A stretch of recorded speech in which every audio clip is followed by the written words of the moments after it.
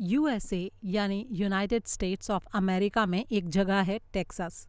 वहाँ पर एक छोटा सा शहर है जिसका नाम है कैक्टस सिटी। उस कैक्टस सिटी से एक आदमी सामान खरीदने के लिए जाता है न्यूयॉर्क सिटी में और वहाँ की एक खूबसूरत मॉडल पर फिदा हो जाता है। फिर वो उसके ऊपर तरह तरह से लाइन मारने की कोशिश करके उसे पटाने की कोशिश करता है। लेकिन मॉडल है कि कम वक्त उसे घास डालने को तैयार ही नहीं है।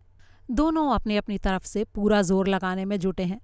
और ये सब कुछ हो रहा है ओ हेनरी की एक बहुत ही मज़ेदार कहानी में, जिसका नाम है the buyer from the Cactus City. तो आइए सुनते हैं ये कहानी और देखते हैं कि इस सारी रस्साकशी का क्या नतीजा होता है। और ये तो आपको पता ही है कि जो टिपिकल ओ हेनरी ट्विस्ट है, वो कहानी के एंड में ही आता है। तो आइए देखते हैं कि ये कहानी कहाँ, कब, क्या मोड़ लेती है। The buyer from the Cactus City.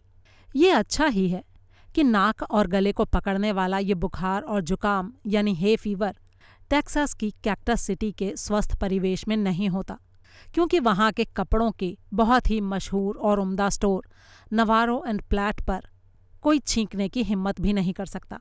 Cactus city के बीस हज़ार लोग अपनी मनपसंद चीज़ों के लिए अपने चांदी के सिक्के खुलकर लौटाते हैं। इस कीमती धातु का एक बड़ा सा हिस्सा नवारो एंड प्लैट की जेब में जाता है।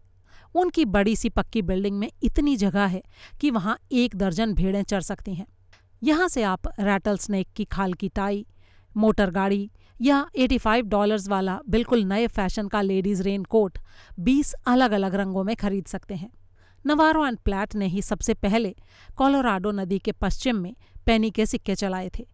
पहले वो फार्म हाउस के काम में इस्तेमाल हुआ करते थे और उनके दिमागी व्यापार में खूब चलते थे। उन्होंने ये बात समझ ली थी कि मुफ़्त की घास खत्म हो जाने के बाद ये ज़रूरी नहीं था कि संसार का चक्कर रुक ही जाए। नवारो एंड प्लेट का सीनियर पार्टनर था नवारो। वो पचपन साल का, आधा स्पेनिश कॉस्मोपॉलिटन काबिल और सभ्य इंसान था। हर साल बसंत के मौसम में माल खरीदने के लिए न्यूयॉर्क वही जाया करता था। इस साल वो ज़रा इतना लंबा सफ़र करने के मूड में नहीं था। और इसका कारण ये था कि अब धीरे धीरे वो बूढ़ा हो रहा था। दोपहर होने से पहले ऑफ़िस में कई बार अपनी घड़ी देख लिया करता था। उसने अपने जूनियर पार्टनर से कहा, जॉन, इस साल माल खरीदने तुम ही जाना बाबा। प्लैट काफ़ी थका हुआ दिख रहा था। उसने कहा, मैंने तो सुना है कि न्यूयॉर्क एकदम ही बेजान सा शहर है, लेकिन कोई बात नहीं, चला जाऊँगा। मैं रास्ते में रुककर कुछ दिन सैन एंटोन में घूम फिर सकता हूँ और थोड़ी मौज मस्ती भी कर सकता हूँ। इस बातचीत के दो हफ़्ते के बाद एक व्यक्ति लोवार ब्रॉडले इलाके में बनी चोगों और सूट की थोक की दुकान जिसबॉन एंड सन में दाखिल हुआ। वो टेक्सास स्टाइल का पूरा सूट पहने हुए था।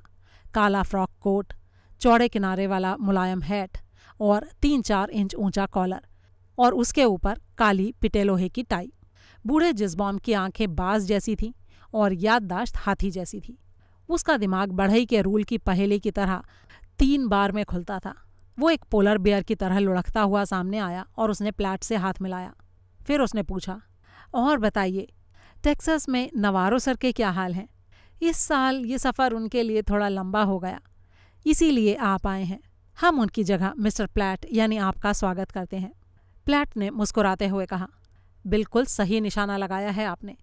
और मैं ये जानने के लिए आपको चालीस एकड़ ज़मीन दे सकता हूँ कि आपने ये किया कैसे। जिस बॉम ने खींचे निपोड़ते हुए कहा, मैं जानता था। जैसे कि मैं ये भी जानता हूँ कि इस साल अल्पासों में साढ़े अट्ठाईस इंच यानी पंद्रह इंच ज़्यादा बारिश हुई। और मैं ये भी जानता हूँ कि इसी कारण से नवारो एंड प्लैट सूखे सालों के दस हज़ार डॉलर के बजाय इस साल पंद्रह हज़ार डॉलर के सूट खरीदेंगे। लेकिन ये सब तो होगा कल। पहले मेरे पर्सनल ऑफ़िस में चलकर एक एक सिगार हो जाए।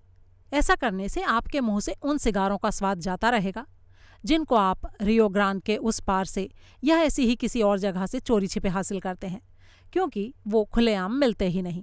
अब तक दोपहर बीत चुकी थी और दिन का काम खत्म हो चुका था।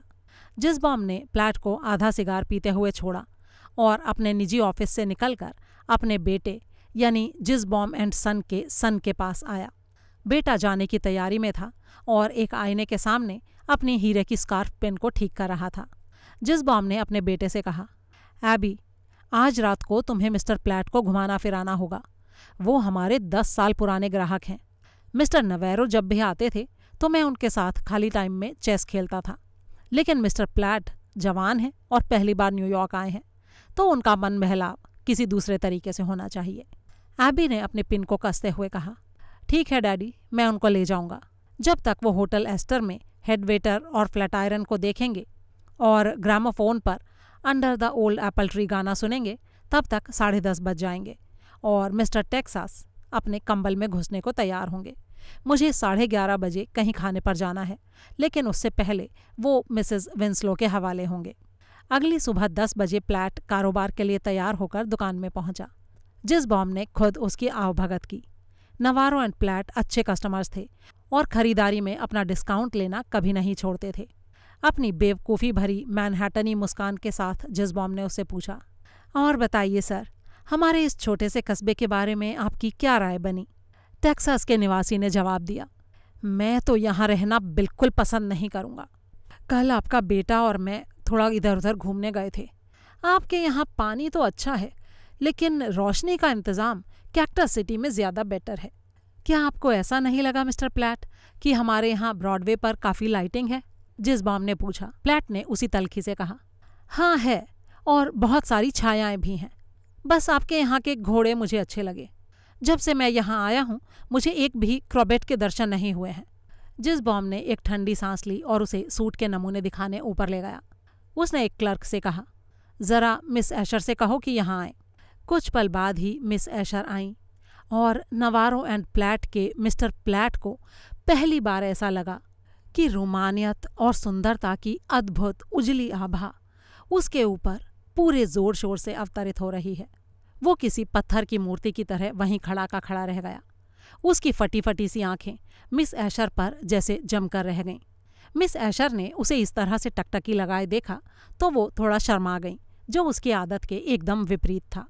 मिस ऐशर जिसबॉम एंड सन की सबसे अव्वल नंबर की मॉडल थी सुनहरे बालों वाली ऐसी खूबसूरत लड़की जिनको मीडियम कहा जाता था। उसके मेजरमेंट्स भी 38, 25, 42 के स्टैंडर्ड मेज़रमेंट से थोड़े बेहतर ही थे। जिस बॉम में काम करते हुए उसे दो साल हो चुके थे और वो अपने काम को अच्छी तरह से समझती थी। उसकी निगाहों में एक चमक थी, लेकिन साथ ही एक ठंडक भी थी। उसे खरीदारी के लिए आने वाले ग्राहकों की अच्छी परख थी। जिस बॉम ने कहा, अब मिस्टर प्लैट, मैं चाहता हूँ कि आप लाइट शेड्स के इन प्रिंसेस गाउनों को देखें। आपके यहाँ की आबो हवा में ये खूब अच्छी तरह से चलेंगे। पहले ये पहनकर दिखाइए, मिस ऐशर और फिर वो बेहतरीन मॉडल, बड़ी ही तेज़ी से एक से बढ़कर एक पोशाकों को पहनकर दिखाने लगी। वो एक पोशाक पहनती, सामने आकर उसे दिखाती, फिर फुर्ती के साथ ड्रेसिंग रूम में जाकर उसे बदल कर दूसरी पहनकर आ जाती। हर बार वो पहले से ज़्यादा गजब ढा रही होती। वो पूरे कॉन्फिडेंस के साथ खरीदार के सामने खड़ी होती और वो अवाक, अचल खड़ा उसे बस ताकता ही रह जाता। जबकि जिस बॉम बड़े ही मीठे शब्दों में हर पोशाक का बखान करता जाता।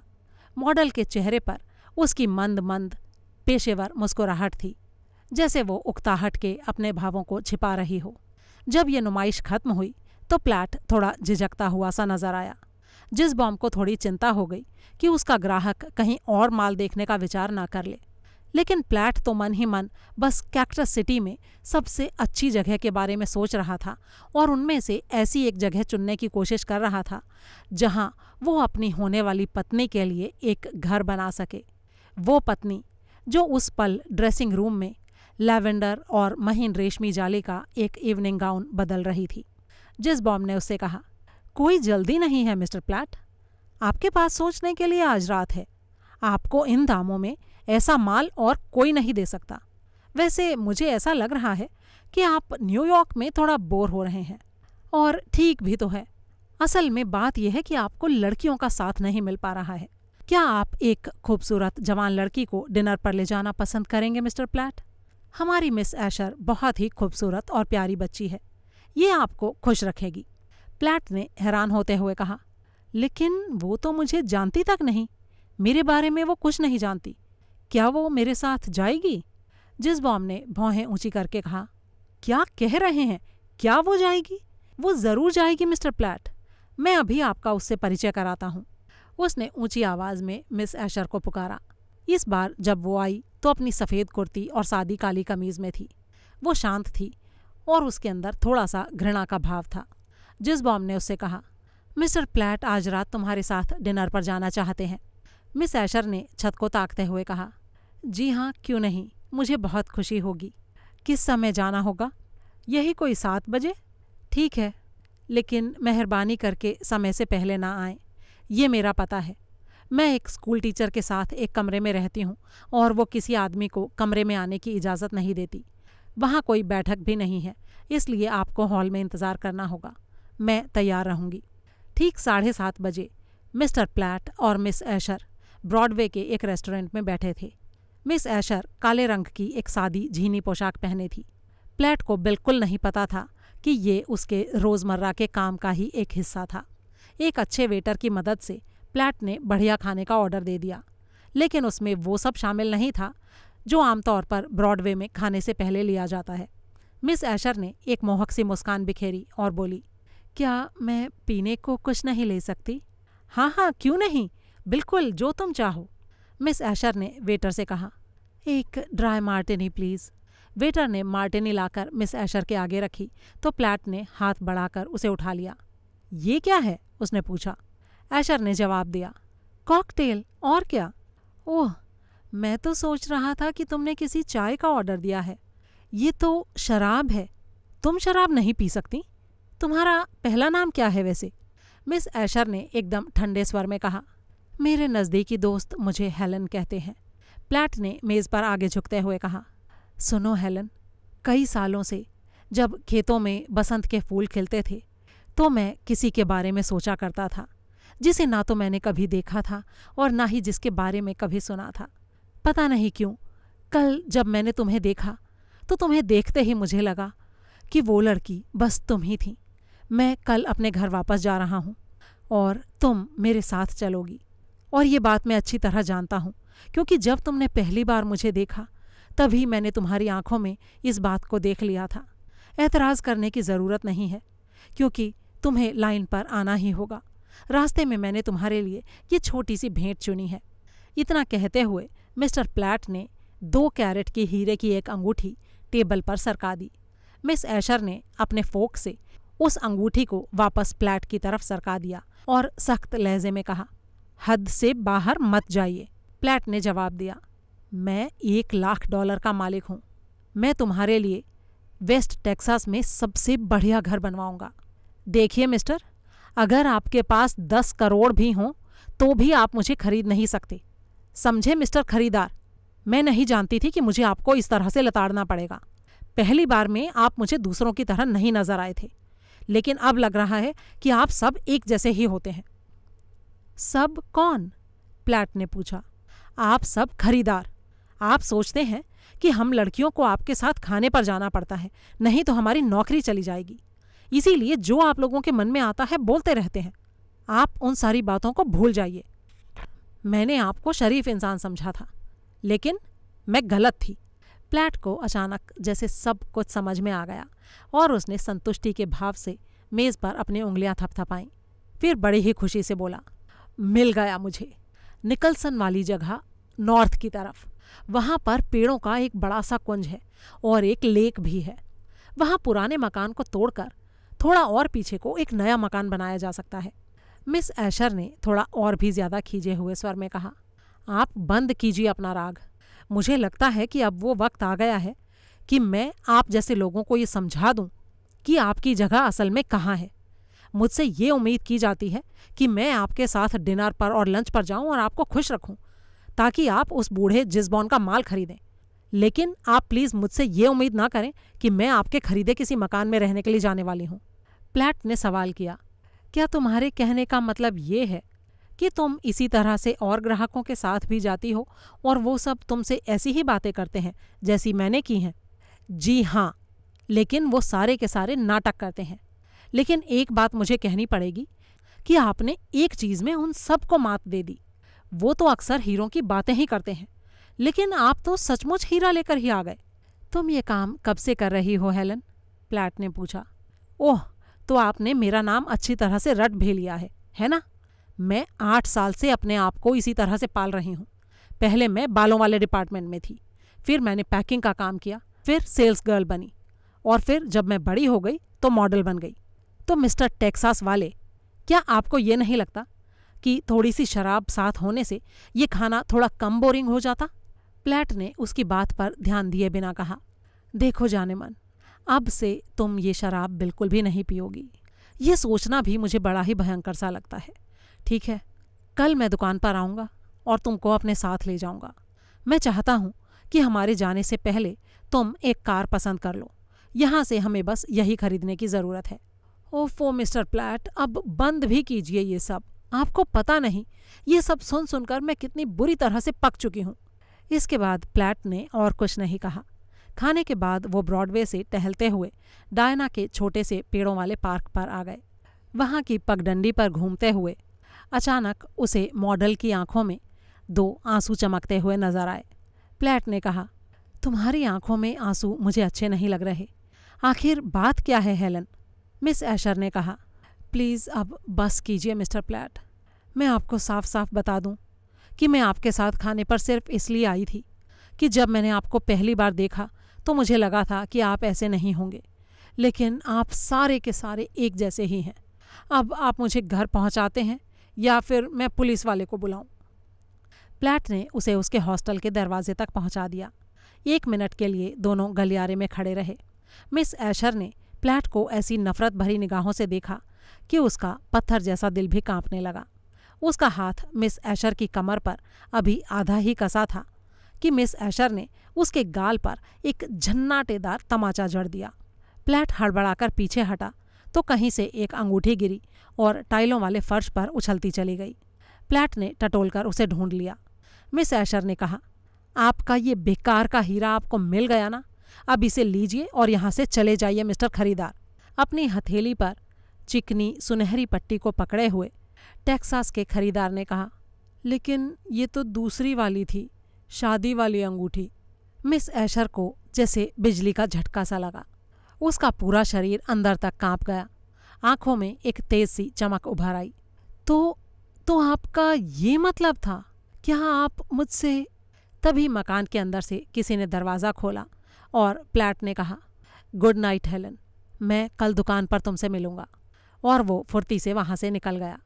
मिस ऐशर करीब करीब दौड़ते हुए अपने कमरे में पहुँची और उसने अपनी साथी, स्कूल टीचर को इस तरह झंझोड़ दिया कि वो बिस्तर में उठकर बैठ गई और बुरी तरह से हड़बड़ाए स्वर में बोली, अरे, क्या हो गया? क्या हो गया? क्या कहीं आग लगी है? कहाँ है? कहाँ है? मॉडल ने जवाब दिया, यही तो मैं जानना चाहती हूँ। तुमने तो ज्योग्राफी पढ़ी है ना, एमा? और तुम्हें पता होना चाहिए।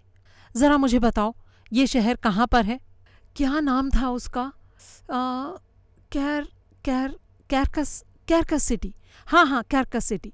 स्कूल टीचर गुस्से में भिन्नाते हुए बोली तो तुमने इतनी सी बात के लिए मुझे नींद से जगाया है, और वो भी इतने भद्दे तरीके से।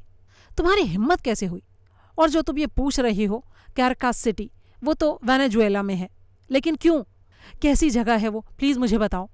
अरे, कैसी जगह है क्या? वहाँ तो ज़्यादातर भूकंप आते रहते हैं हबशी लोग रहते हैं। मलेरिया का बुखार और ज्वालामुखी जैसी चीज़ें हैं वहाँ पर बस। इसके अलावा और कुछ नहीं है। मिस ऐशर ने खुश होते हुए कहा हाँ हाँ कोई बात नहीं, होता है तो होने दो। मैं तो बस तुम्हें ये बताना चाहती हूँ कि कल मैं वहाँ पर जा रही हूँ। दोस्तों, ये कहानी आपको कैसी लगी इसके बारे में अपनी राय शेयर करना बिल्कुल ना भूलें। और प्लीज़ वीडियो को ज़्यादा से ज़्यादा शेयर ज़रूर करें। जल्दी ही एक और कहानी के साथ आपसे फिर मुलाकात होगी। तब तक के लिए अलविदा।